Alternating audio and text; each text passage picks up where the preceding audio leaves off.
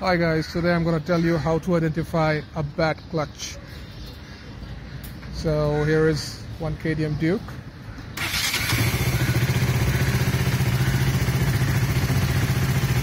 You can see I'm moving the accelerator but nothing is happening and it happens now.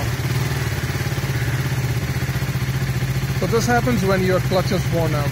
I'll also show you one good clutch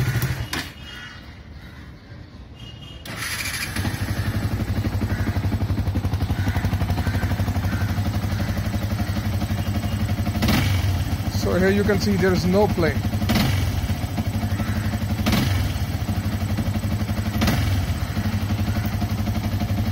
So whenever the play comes, uh, in case of this Duke, that this clutch is not completely worn out, it can still last for a few thousand kilometers more.